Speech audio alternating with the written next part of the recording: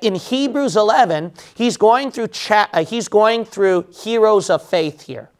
So a tribulation saint, a Jewish tribulation saint undergoing end times, he can apply himself to this chapter of faith. And a Christian church age saint can also apply to himself to this chapter of faith. Because this chapter on faith so many of its practical aspects can be applied universally.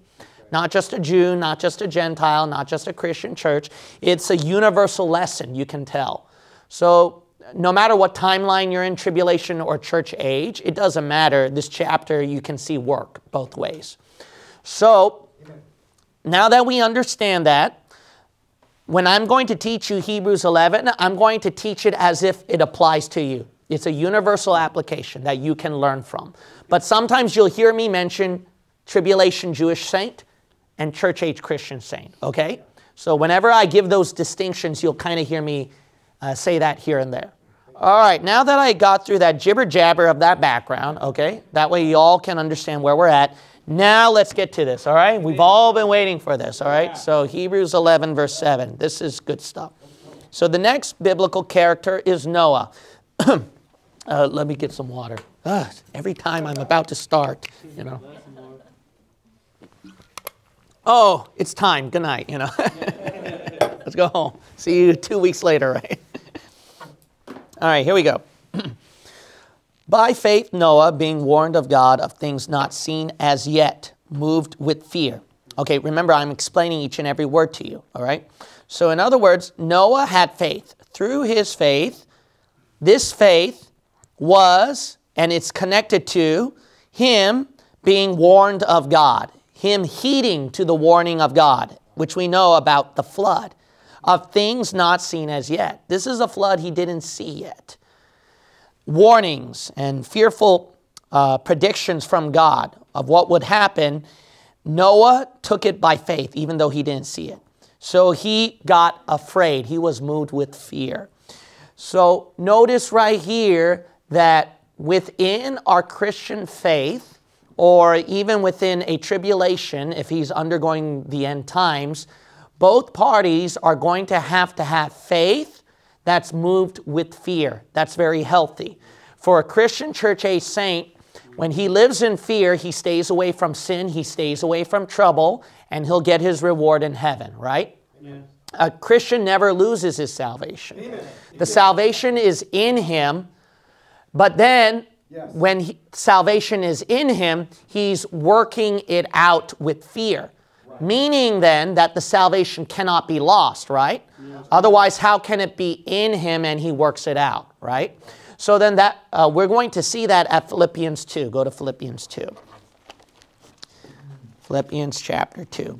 For a tribulation saint, they have to have a faith and they are moved with fear. The reason why is the salvation, the tribulation is different from what Christians are going because Christians, we don't see the Antichrist. We're not in danger of 666.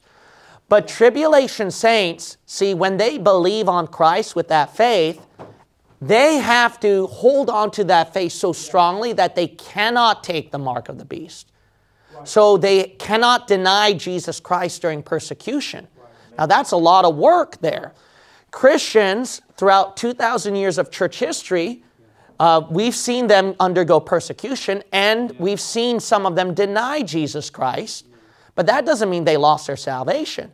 But see, tribulation is different. Once you have that, it's game over. So that's why they have to have a lot of fear and they have to hold on to their faith. Whereas for a Christian, it's very different. So we don't have to worry about losing our salvation. Look at Philippians chapter 2, and then we'll look at verse 12. Wherefore, my beloved, as ye have always obeyed, not as in my presence only, but now much more in my absence, work out your own salvation with fear and trembling. Now, some people will use this to teach you that you have to work for your salvation. No, that's not true. This is talking about works after your salvation not working for your salvation. In other words, you're working because you're saved. You're not working in order to get saved. Does that make sense? So, this verse is pointing out right here not to work for your salvation, but you're working because you already have salvation in you. Because how can you work out your salvation if the salvation wasn't in you to begin with? See that? Because look at verse 13. For it is God. See, it's explaining the reason why you're working out the salvation. For it is God which worketh in you both to will and to do of his good pleasure. See, you can't work out unless salvation's already in there, unless you're already saved. Right. See that? So we uh, we're not worried about losing our salvation because it's in us. That's what the verse said, right? But then the verse is saying that we have to work it out and we have to be afraid. You might say, why? Because you got salvation in you. Jesus Christ bled and died for you on the cross. That's a high accountability, and God's going to require much out of your life. After all Jesus sacrificed for you, and you got it in you, you're not afraid after that, and you're, uh, and you're not going to do anything for Him. That's heavy to think about. See that? So that's the reason why there's, there should be fear there. Uh, the Bible says 2 Corinthians chapter 5 verse 10, we're not going to turn there, but every saved believer is going to go to the judgment seat of Christ. And the Bible calls that a day of terror at verse 11. See, God's going to require something. Okay, you're saved Christian, you can't lose your salvation. You're going to go to heaven with me, but what did you do for me? Wow. So it's going to be a scary time, the Bible says. All right, now we go to Proverbs 1. Proverbs 1.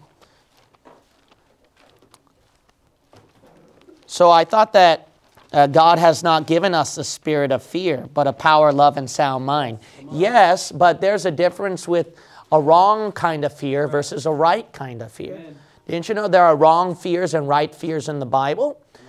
I mean, for us, uh, it's good that we have a healthy right fear.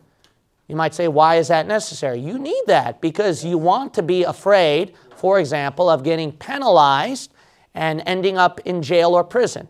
How many people are not afraid of that and they just end up there? Come on. Right? See, so there should be a healthy fear. There should be a healthy fear if you see a warning sign and then it says uh, high voltage, do not touch. If you could care less and then you touch that, then you're going to die. See, so there should be a common sense fear, a healthy fear. Have you seen some of these people who have no fear and do crazy stunts? That's really Stupid. That's not smart. That's stupid. You're going to hurt yourself. You're going to kill yourself. So that's why there should be a very healthy level of fear. All right, Proverbs chapter 1. Notice the Bible says in verse 7 The fear of the Lord, verse 7, the fear of the Lord is the what? Beginning of knowledge. Beginning of knowledge. It's smart. You want to be smart? Then have some fear. All right, go back. Hebrews 11. Hebrews 11. So Noah had that healthy fear. Notice right here, prepared an ark to the saving of his house. So he prepared, as we all know, he built a huge ark, a big boat, so that he could save himself and his family. That's the saving of his house. Now, by that action, when he was building that ark to rescue his family, the verse says, by the which he condemned the world and became heir of the righteousness which is by faith. By that action he was doing, he automatically, look at that, he condemned the world. He judged the world. He was not a part of it. And because of that, he also became an heir. So he was part of the inheritance, the reward that God gave because of his righteous living. And that was all done by faith. So notice right here, Noah had a faith where his works were also involved. So go to Genesis chapter 6. Genesis chapter 6. Genesis chapter 6. Now, what you're going to notice right here, because this is Hebrews, right? So there's a lot of Hebrew doctrine. There are Jewish doctrines that you need to uh, keep in mind here. So, because it's Jews hearing about end times, and it's a faith that they have to hold on to, right? Remember the Antichrist, they have to resist it, they have to do a lot of work. This faith is very different from Christians. It's a faith where they have to work it out. That's a part of their salvation. For us Christians, it's a faith where we have to work, but it has nothing to do with our salvation, getting saved or lost. Why? Because it's already in us. So there's a distinction here. So in Noah's case, what you're going to notice here is that his faith, because it's falling in line with the book of Hebrews, it's not the same salvation by faith like you and I. His faith had works involved. Now, you're going to notice right here at Genesis chapter 6 what God did with Noah. Verse 8, but Noah found grace in the eyes of the Lord. Now, some people will tell you that Noah was saved by grace, not by works. But in verse 8, we see matching perfectly well with Hebrews 11, yeah. Where there's faith and works involved. Because in verse 8, he gets that salvation, grace, faith, but notice here in verse 9, why did he find grace? You have to think about that. Why did he find grace? If he lived wicked like the rest of the ungodly world, then it would turn out different, right? So in verse 9, these are the generations of Noah. Noah was a just man and perfect in his generations and walked with God. See that? Notice that this sounds very different from Christian salvation. In Christian salvation, there is not a just man. No one seeks after God. All have sinned, come short of the glory of God. No one is perfect enough to go to heaven. But in Old Testament Jewish language, they use the word justness and perfect here. See, because it's a different setup. It's a different setup. Now, this doctrine is uh, dispensationalism, which is very important. So, in dispensationalism, it's the number one doctrine that will clear 90%, if not 99%, of wrong teachings. In dispensationalism, they make a big deal with distinguishing two parties and that is Jew and the church. This distinction clears up a lot of wrong doctrines. You're going to see a lot of wrong doctrines because they fail to divide the two parties. In fact, they conglomerate or they merge the two parties and they don't see a difference. If you divide the two parties, it's going to make a lot more sense in the verses you're reading. Yes. Because there are people who will tell you that you know, you're saved by faith, not by works. And then there are people who are going to tell you, well, if you're really saved by faith, you're really supposed to do works. And then there are other people who will say saved by faith and works. And there's just so much confusion. Yeah. And why is that? Because people are pulling verses in their Bibles, uh, in the Bible right here, and they're showing verses like, uh, that you can lose your salvation, that if you have genuine faith, it's going to have works. And then there are verses that show that a person doesn't do any work, but he's still saved by faith. There are verses that show people sin, so that shows that they're not really doing works, they're sinning, but they're still saved by faith. So then, oh, oh, what are we going to do with all these verses? You rightly divide verses to the right group of people to the right time period. Now, notice that that distinction is going to help you a lot. That's why I gave you that background. All right? Hebrews is one of the hardest books in the Bible to do commentary on because it's transitional, because we have to go through these two parties actually. But that's the reason why. Do you now know why a lot of Jews hated Paul when he introduced church age doctrine? Yeah. See, they hated him for that makes a lot more sense now because this is something that the Jews are not used to. What are they used to? They're used to that Old Testament wording, the Old Testament salvation, the end times, the kingdom coming, the Messiah. They're used to that. All right, so uh, we see right here that Noah's faith had works involved. And you're going to notice that a lot in Hebrews chapter 11. All right, let's go back to Hebrews chapter 11. Hebrews chapter 11. But nevertheless, outside of a salvation context, there's a lot of things you can apply to your Christian life here, right? Yeah. For example, Noah walked with God. Don't Christians walk with God? Yeah. Of course. Uh, don't we Christians have to live in fear, a healthy level of fear? Of course. Three, I mean, in the verse seven, don't we condemn the world as well? Yes. yes. We are opposed to the world. Now, notice right here that Noah's actions made uh, he uh, those actions he did condemn the world. Now, let me show you something here. Go to John 3. John chapter 3. So his actions condemn the world. Now, remember what I talked to you about the power of binding and loosing? All right, so this, this is where everything ties down to power of binding and loosing here, okay? So the power, remember, of binding and loosing, it's been wrongly taught by the Catholic Church that only priests or uh, religious leaders have that power to forgive sins or to damn you or to retain your sins. So then there's a whole bunch of Catholics who are scared of their priests because they're afraid that they can lose their salvation depending on what so and so says. We don't believe in that nonsense. Amen. I don't have control over your soul, only Jesus Christ. So you should have no fear about me and you should care less what I would do with your soul. Only Jesus Christ has the power. Amen. Now, the power of binding and loosing, when Jesus we saw we saw those verses. We're not going to do it again, all right? Because I got to go through. You want to go through the good parts, right? Yeah. So I got to go through the nuggets right here.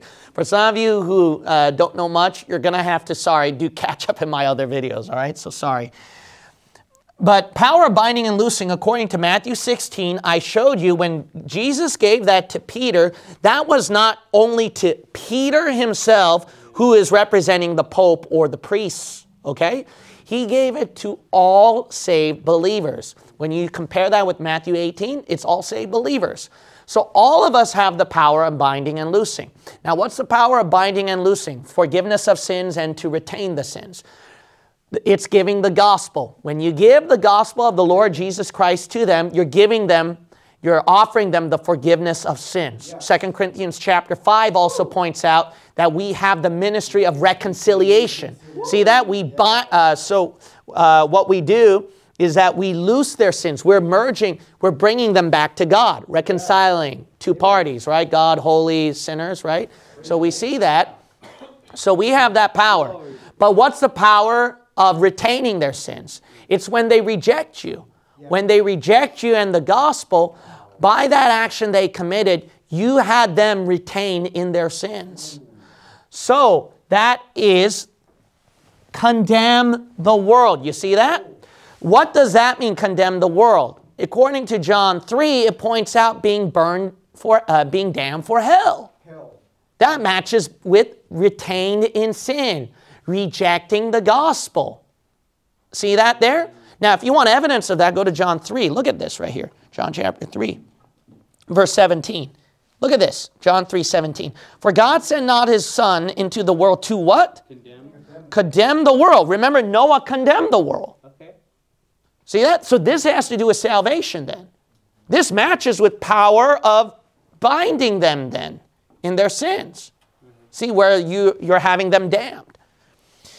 But that the world through him might be saved. See that? That's salvation, receiving forgiveness of sins. Okay, so Look at this, verse 18. How do you not get condemned then? How do you get how do you not get your sins bound or retained, right? The power of binding in sin. Verse 18, he that believeth on him is not condemned. See that? Yeah. So if you receive the gospel, then you're not condemned. You're not under the curse of the power of binding sins. Yes. But he that believeth not is what? Condemned already. I told you so. See, when you reject the gospel of Jesus Christ, you're condemned. Mm-hmm. AKA, you're bound in your sins. Your sins are retained, the power of binding. Because why? He hath not believed in the name of the only begotten Son of God. But this is, but we're not done yet. Here's the interesting part, okay? So this is how you say believers are have the power to bind the lost people in their sins. You know how? It's not like you act all Calvinistic and you can pick and choose who's saved and who's lost. You, that's a horrible thing, obviously. You don't want to do that. That's not what we're saying. What we're saying right here is verse 19. Yeah. Look at this. And this is the what? Condemnation. Okay, he's going to define to you what the yeah. condemnation, where they're damned, aka bound in their sins, right? This is the condemnation. That what? Light is come into the world, and men loved darkness rather than light because their deeds were evil. For everyone that doeth evil hateth the light, neither cometh to the light, lest his deeds should be reproved. But he that doeth truth cometh to the light, that his deeds may be made manifest, that they are wrought in God. Now, did you see the definition here, what the condemnation is? It's being in darkness. All right, why? Because they love the darkness. But notice that this light, what this light does, according, I mean, if you're looking at the verses, the light exposes the darkness. Yeah. So when you're shining the light, which we can say the gospel, right? The light of the gospel. When you're shining the light of the gospel, you know what you've done? What you've done is you've also condemned them as well. Wow. Power. That's powerful, that soul winning. And you take soul winning lightly. No, this ain't just a little tract you're giving out to people. You know what you're dealing with? Power of binding and loosing. Amen. That's heavy stuff. That's real heavy stuff there. Why is that? Because you expose their evil. That's what happened. What does the gospel do? It shows them that they're lost sinners, where they didn't recognize that before. That they're headed for hell, that they didn't recognize before. So, what you've done with that gospel is you've now exposed their darkness.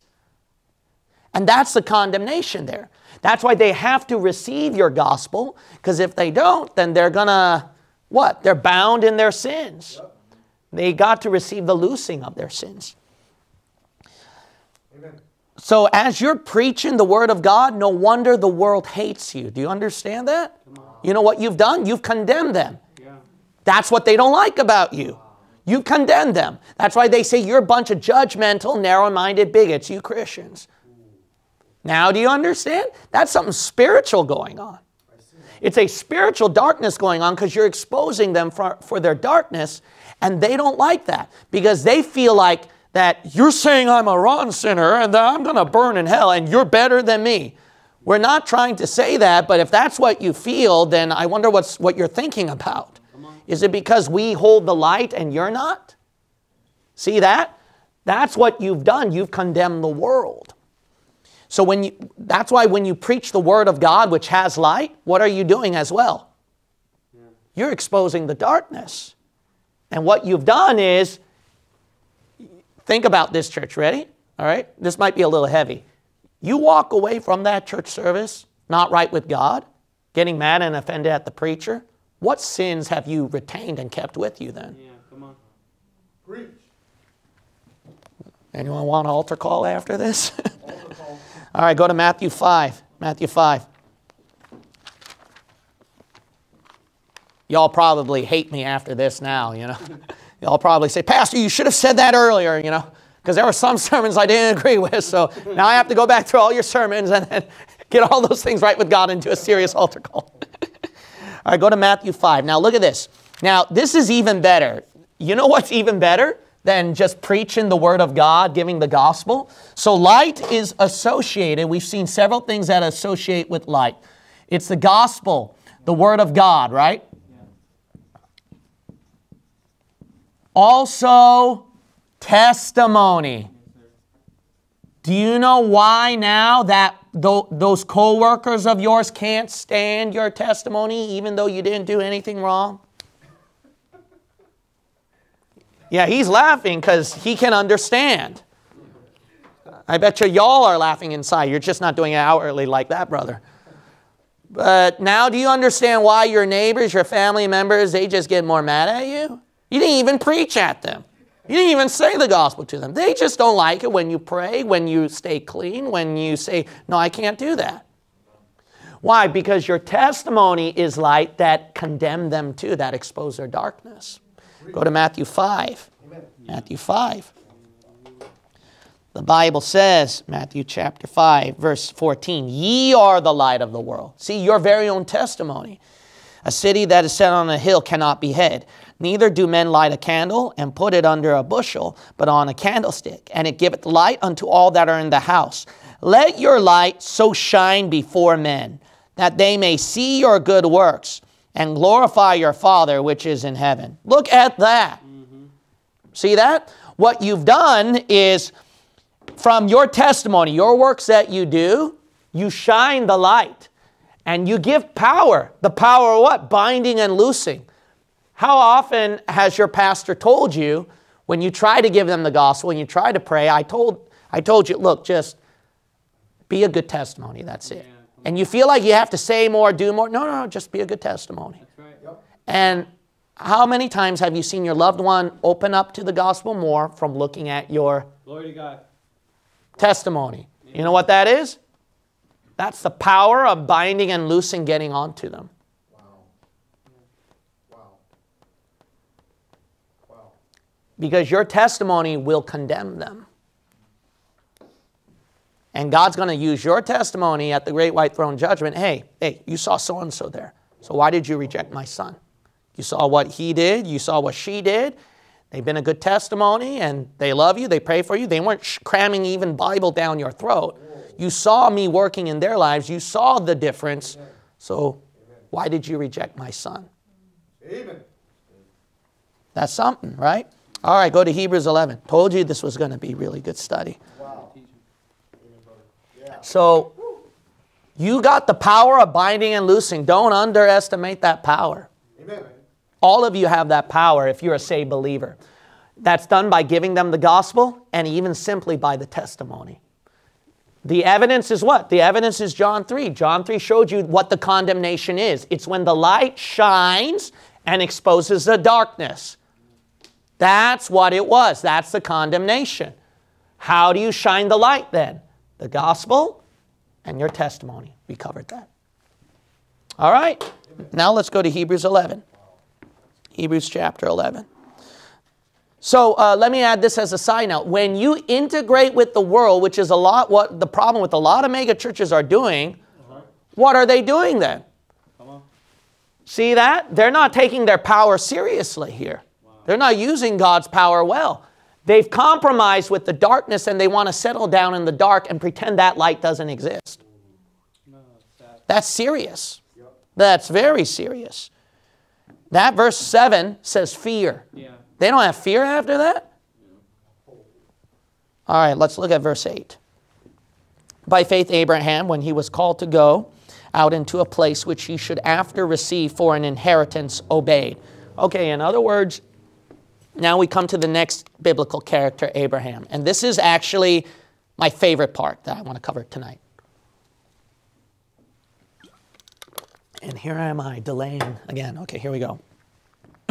so Abraham had a lot of faith that when God called him to go to a place where he had no idea, Abraham obeyed God's calling and went out into a place. A place where what? He should after receive for an inheritance. A place where he doesn't get the inheritance now, but after. That's big. Mm. Now that's faith. So you've heard so many times if you serve the Lord, God will bless you. But when you're undergoing the pain and the trial, you're like, where is it? And you lose your faith, right? Abraham, he didn't have that. When God gave him a promise that he'd bless him, Abraham had so much faith that even though he wasn't currently receiving it, but that it would be after, he just went by faith. Amen. Amen. That's big. Amen. But this is even bigger when you look at the last part of verse 8. And he went out not knowing whither he went. So he went to a place where he had no idea where he would go. Abraham, where are you going? Why are you moving out? You're, you're moving away from your comforts, your family, and everything. So don't you have at least a plan or something? Nope. aren't you worried about how you're going to take care of your wife and everything? And uh, you don't have kids. How are you going to have kids? And I have faith in God. Now, you know, that's real faith. The- The kind of faith that you want, that I envy, that I, that I don't have, that I'll have to admit. Because I'm such a logical thinker. That's my problem, all right? I always have to connect the dots and see something that makes sense. So God has to, uh, God taught me so many times the problem with reason, rationality. There's a problem with that one. With faith, strong faith, imagine having a faith that you have no idea, but you know to be true. No idea, but know it's true. Now, how do you do that kind of a faith? Because let's say that uh, you're called to be a missionary, but imagine taking your wife and kids, taking them to a foreign mission field where you weren't prepared at all about the consequences and everything that was going to happen. You gave up family and comfort and everything in life to go to a place, even a place where you don't know. Now, I don't know of any missionary like that. There is some level of faith that they do have, don't get me wrong, but I don't hear something completely like that because usually that's scowled upon, all right? That's frowned upon because you have to have some planning, some idea. Otherwise, the church is not going to support you because they want to make sure the missionary knows what he's doing. But this is a type of faith, and God does this where you do something. Listen, you do something, but you have no idea. Right. Now, I had a hard time comprehending that. Why? Because that's my problem. I'm always a rational thinker. And I've seen so many people who made foolish decisions because they go by feeling, not by faith. Do you know what I mean by that? Yeah. A person ha- feels that this is what God wants me to do, and then quite often when I counsel them or talk to them, uh, uh, what, uh, I don't think that's wise. Have you thought about this? This is a consequence that would happen. This and that. Are you sure? Oh, are, are you sure? Uh, you're, you're just, aren't you just feeling it? No, no. I know God told me, and they don't even give me uh, good evidences. They don't even give me good explanations why. I just don't know why, but I just know it. And I'm like, okay. And then they mess up and they hurt themselves. You know how many times that happened? 100% of the time. So then, how do we have a faith? See that? That's a difficulty for us to grasp. How do we have a faith where we know it's true, but we have no idea? This is that's why this is my favorite part of the teaching, all right? If you want that kind of faith, and I want that kind of faith, there are three things here that will help you immensely. First of all, don't forget the basic ingredients to faith 1, 2, and 3, verse 1, 2, and 3. What is faith? The author defined it for you. Now, faith is the substance of things what? Hope for. It's a strong hope. Yeah. How do you develop a strong hope? A strong hope is developed. Go to Romans 5. Some of you already now know. See, some of you now know. How do you get that strong hope? From a strong experience. Now, if it was an experienced preacher of many years who made a decision for the church, hey, I don't know, uh, I don't have any plans, I don't know what to do, but this is what I believe God told me to do, so we're going to proceed with this church. A lot of you members would probably follow along my decision, right? Even if I don't give any details or I have no idea, but I know it's true. Why? Because you trust my experience. You've seen that. When you have a lot of experience, experienced people don't really have to do much planning or preparing. They go by instinct. They go by experience, what they went through. See, so that's the reason why they don't really have to have any ideas. They just know it's true because they already experienced it. So it's a strong experience that will help you with that. And experience comes from patience, not by immature feelings that you go by radical impulse and you assume that's what God told you to do and it didn't turn out to be that way. No, it's the truth is you're just impatient and fleshly. Comes from patience, which comes from what? Trials. When a person went through all the problems and they've overcome, that's why you can trust that person. Wow, that's good. But a person who's immature, who didn't go through it, that's why you can't really take their word for it. Yeah. That if they say that I have no idea, but I know it's from God, then you tend to hesitate. You tend to get a little fearful of those people.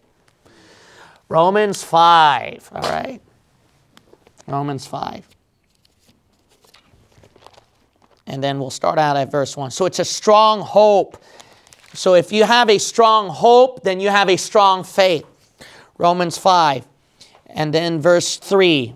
Verse 3. And not only so, but we glory in tribulations also, knowing that tribulation worketh what? Patience. Patience. And patience what? Experience. Experience. And experience what? Hope. Hope. And hope maketh not ashamed. So you have no shame and you're confident, like Abraham, that what God told you to do is exactly what God told you to do.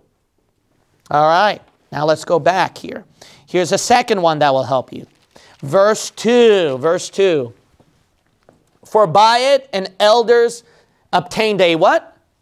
Good report. So this faith is supposed to give them a good testimony. Yeah. Good report. That's your second answer here. So, how you know that you have the right faith is because of your testimony. So, then there are church members, for example, that I would counsel, and I would hesitate on some of the decisions they make, and they think that this is what God led them to do. But because of their testimony, see that? And I've seen how God used them and I've seen how they've yielded to God, then I say, okay, well, let's try it out, brother or sister. If you believe that's what the Lord led you to do, let's try it out and see what happens. Why? Because of that testimony. But if it's the first timer in the church, I don't do that with them because I, don't- I have no testimony to lean upon to see. So you have to uh, look at your testimony as well. Okay, so this is very helpful. All of this is planted on this ground right here of faith. A faith that you have no idea, but you know it's true. You want that? I know all of you want that. If you want that, these are the essential ingredients you need to go by. The last one, which is a no brainer, is verse 3. Because of faith, we know that the worlds were framed by the Word of God. So if God's Word says so, even though we don't have the scientific evidence for now, we know it's true. So a lot of people, though they always scoffed about in Revelation chapter 11, how is the whole world going to see the bodies of these two dead witnesses? No one could understand that. But they said, I know that's what the Bible says, so I take it by faith. Guess what now? Then television came, and more so than that, everyone, including kids nowadays, which is scary, are getting cell phones. So they can watch and see what happens now. See, that's faith because of what God's word says so. So here's the thing if any of you want that kind of a faith, now I know you want that because I do, all right? Or maybe it's just me. But I always envied this and I always wanted this. How do I have a faith where I have no idea, but I know it's true? God had to put me through some of this. He had to put me through some of this. And only the close loved ones that I have would know what I had to do. I stressed, I strained. I had to ignore every pastoral advice and everybody's advice. Didn't you know that? I had to do that. Now, that's not recommended, obviously. But see, there are sometimes exceptional, really hard scenarios, unique scenarios, that you're completely in the dark and you have to trust God and not people. So I had to go through that. And how did I know that? Because these three. And they helped me. And they affirmed my faith and my decision. And I had to take a leap of faith. Now, some of those people recognize the decisions that I make and they approve what I do now. But back then, I had even pastors too who disapprove of me. All right? But then later on, they come to realize that the Lord's hand was in it.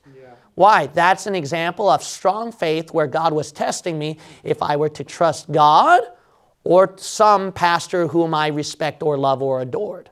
Wow, that's good. That's really huge there. Amen. That's really huge. So that's so you're going to have to have a faith where you're going to have to go against family, against everyone. I had to do that. But how this comes is see this here, then this, and then this, which helped me have that strong hope. I knew, I knew the decision I made was the right one. I knew it. And I had to do it. I had to follow God's calling. I had the Word of God. I knew that book from cover to cover. So I knew what I did was the right decision.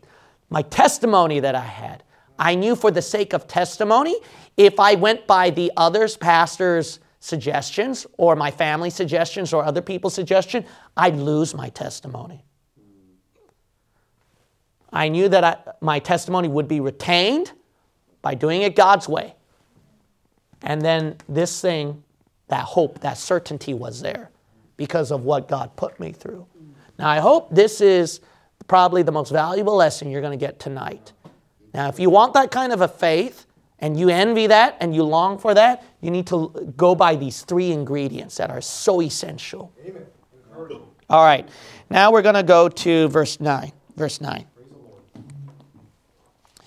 Lord. By faith he sojourned in the land of promise as in a strange country, dwelling in tabernacles with Isaac and Jacob. So Abraham, by faith, he had to dwell, uh, he had to live temporarily. So he, he didn't live permanently uh, in the land that he was residing. It was just temporary. He was wandering in the land of promise. So where he was residing, which we know is the land of Canaan, which is the nation of Israel today, that was what, what God promised him for his land. As in a strange country. So it's a total strange country to him, strange land. He doesn't know. Dwelling in tabernacles with Isaac and Jacob, the heirs with him of the same promise. He had to live in tents. That's what the tabernacles are. So he didn't build a permanent home or a city. And his sons, Isaac and then grandson Jacob, who were heirs with Abraham, with that same promise, that same inheritance, they had to also live in tents. They didn't live there permanently. that was all faith. Why? Verse 10 For he looked for a city which hath foundations, whose builder and maker is God. Because Abraham instead was looking for a city that had foundations. Now, his place was tents.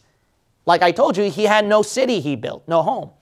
So, whatever city he was looking at, it had found actual foundations where God was the builder and maker. See that? So God's the one building and making. Now, this is very important. You're going to hear majority of commentators say this the wrong way. They're going to say that this place that Abraham was residing in was actually referring to New Jerusalem, which is not true. It's not referring to New Jerusalem. Oh, excuse me. We're going to look at Revelation 21. Now, keep your hand at Hebrews 11, all right? I'm going to show you some things here.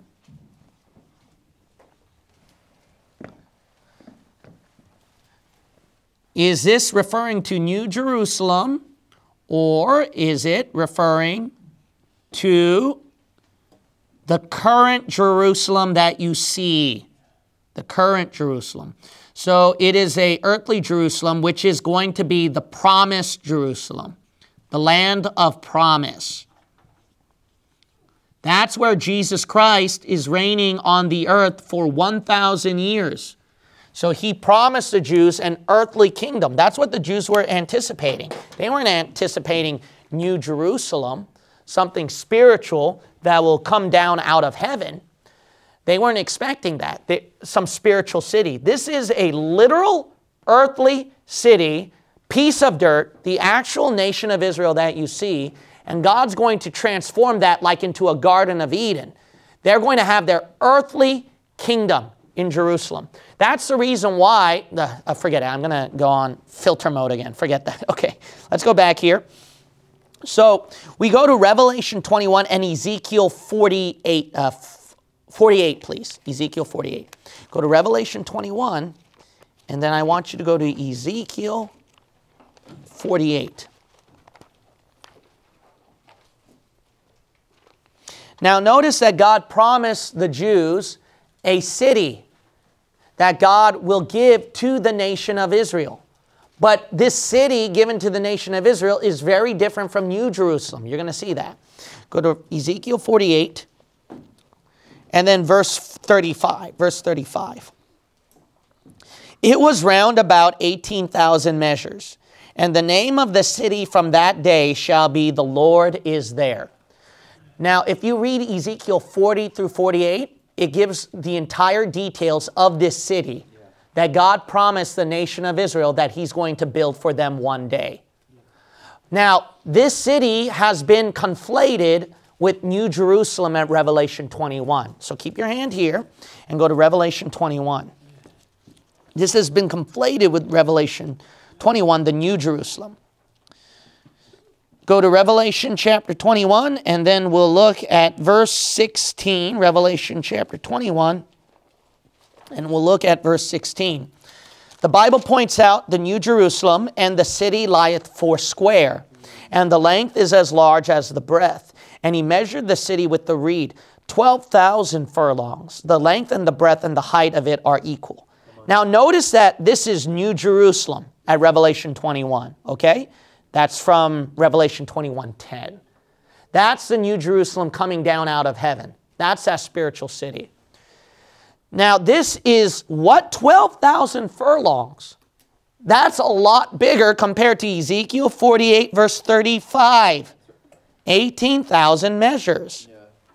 See, these two cities, they're different. Why? Ezekiel 48 is talking about Jerusalem itself that God will build that he promised them.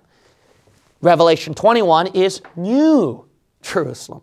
See that? You would think that God already gave the hint that there's a different Jerusalem. Now, if you look at Hebrews 11 again, Hebrews 11 will prove that Abraham, when he was on this land, that he was not looking for some kind of spiritual city or some something that is from heaven. That's not what Abraham is seeking after. He's not thinking about dying and going to heaven like all of us. No, this is a, a literal earthly city that God promised him. That's what Abraham was expecting. But here's the thing the verse said the following several clues here. One is verse 9, he sojourned in what? In the land of promise. See, so that actual place he was in, that Jerusalem would later be built, that was the land that God promised. But why is it that Abraham, he had faith and he wasn't permanently dwelling there? We know why. Because the city that he was promised was after. Because remember back at verse 8, which he should receive for an inheritance, uh, which he should after receive for an inheritance. Abraham didn't receive it at his time. It had to take, what, thousands of years later with Joshua and King David and Solomon. See that? They were getting built that time. But you know what happened? The Jews rejected it. So then God had to, uh, so the nation of Israel lost their nation. And then Jesus the Messiah came and they had their chance again, but they rejected their king. So God had to postpone it 2,000 years, and they're going to have to wait till when? The millennium, the end times. So that's what they're waiting for. That's what they're waiting for. Like the disciples said to Jesus, Will you restore again the kingdom to Israel before Jesus went up to heaven? And Jesus didn't say, No, I'm not. It's a spiritual city. He didn't say that. He said, It is not for you to know the times and seasons. See that? Why? Because there's a clock going on where he delayed it, where there were temporary moments where the Jews rejected it. There were those transitional clocks, and he had to delay it 2,000 years. Okay, let's go back to Hebrews chapter 11 again, verse 11. All right, let's close it off here. Through faith also, Sarah herself received strength to conceive seed and was delivered of a child when she was past age. So, Sarah, by faith, she herself was able to receive the strength to bring forth a child, conceive seed. So she was delivered of a child. So she was able to give birth to a baby, even though she was past age. She was so past age, she was old, but she was able to give birth. That's a miracle. Why? Because she judged him faithful who had promised because she judged. And judgment is making a decision, a serious decision, passing the sentence that, okay, God, I'm going to hold you to your word, that you're going to be faithful to what you promised right. that I would have a child. Now, this is very important, which is very interesting. Go to James 1. James 1. Go to the book of James, chapter 1. Now, this is something that the ladies would like to hear, okay? And the guys too, obviously. Go to James 1. Now, Sarah, she had faith that she would deliver a child. But if you look at Hebrews 11, look at that verse again. She received strength. To conceive by faith. What does that mean then? What that means then, if that verse is, if those words aren't there by faith, then what does that mean? She won't have the strength to conceive seed. But because she had faith, that's why she was able to conceive seed. Now, when you're giving birth to a baby, it's going to take a lot of mental draining, mental ability, mental power. You see these nurses and these people, come on, push, you can do it. You can do, they have to give them that faith. They have to have a lot of faith, ability, that way they can give birth properly. So what's the point here? The point is if she didn't have faith, she probably would have had a miscarriage. So that's something very important. She had to have faith so that she can receive the strength to what? Gain the promise. The child, the promise. That's good. What if she didn't have faith? If she didn't have faith, then that means then she doesn't have the strength to give birth to the promise. You ever recall those statements, those verses in the Bible where Jesus uh, was able to give the promise to heal, promise to cast out the devil because of their Faith. faith? Yeah. Now, look, if you don't have faith, then this is important. If you don't have faith, you won't have the strength to, to produce from your seed of faith to produce the fruit of promise that God has given to you. Wow. Now, you wonder why God's not blessing your life then. Because your seed of faith is not strong, where it's not giving, it's not producing the fruit. You want fruit? I know all of you want fruit in your life. Then you need a strong faith. If the seed is contaminated, if it's the seed's messed up, it ain't gonna have the strength, the power, the ability to give uh, to bring forth good fruit. Go to James 1. Look at this. God even pointed that out that He's not going to be able to answer prayer, even though He has the power to answer everything, that He won't do it if you have a lack of faith, if your faith is shaky. Look at James 1 6. James 1 6. But let him ask in faith, nothing wavering. For he that wavereth is like a wave of the sea, driven with the wind and tossed. For let not that man think that he shall receive anything of the Lord. That's right.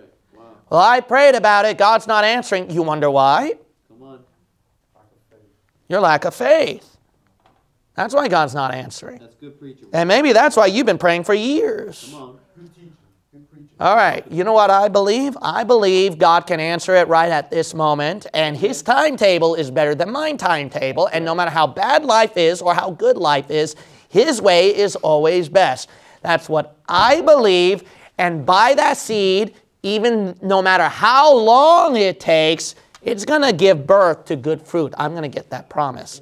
Sarah had to wait years to get her child a promise through, uh, through an impossible, already she's too late. She can't give birth to children. She's already too late. But see, that's what faith does, the promise does. This is so amazing with our God. Even if you're too late, or in your mind you think it's too late, right? We always put God at a timetable, and that's our mistake. That's our mistake. You never do that. Then God's going to teach you something if you put Him on a timetable. What you have to do is that God, He will do things even when you're past the timetable. That's what faith requires. Glory to God. Faith requires that even if it's too late for me to give birth to promise, I believe that God will give it to me, and that will produce that strength to give birth to the promise. Faith is so important. Because think about it if Sarah didn't believe and she was having that child, then either who, her womb will be dead, or when she's struggling to give birth, she could use the excuse, I'm too old, I can't push. Oh, it's too painful. I can't do it. I'm a very unique case. My trial is so unique. My pain is so unique. So I can't give birth to a baby. Does that sound like some of us? Come on. Wow. Preach. That sounds like us. That's right. And because of that, then you won't believe. Believing is so important because it gives you strength That's right. to push. All right? Amen. All right, then. I hope you got a blessing tonight. And uh, I got, uh, man, this got, I got two other goodies. So I, I didn't cover this part. But this lines up with this very well. I, I can't wait to tell you next time. All right? Lots of good stuff with this faith.